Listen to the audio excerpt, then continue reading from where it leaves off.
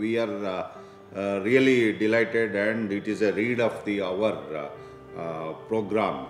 as the government of Karnataka has initiated with the support of NGOs and the uh, so many people come forward to support the health system of uh, government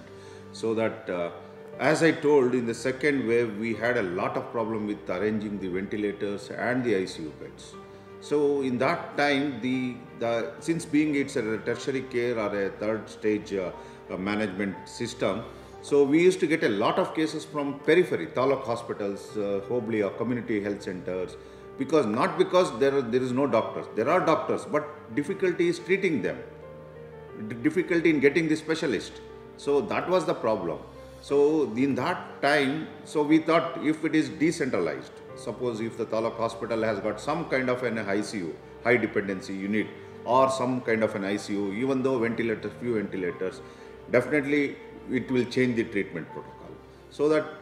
the treat uh, consultant or a specialist sitting in the periphery, at least he can manage three, four hospitals, and with the help of the local physician there or the local uh, MBBS, yes, that is what that is what we are you are doing it. So that is definitely a boon to the uh, healthcare system.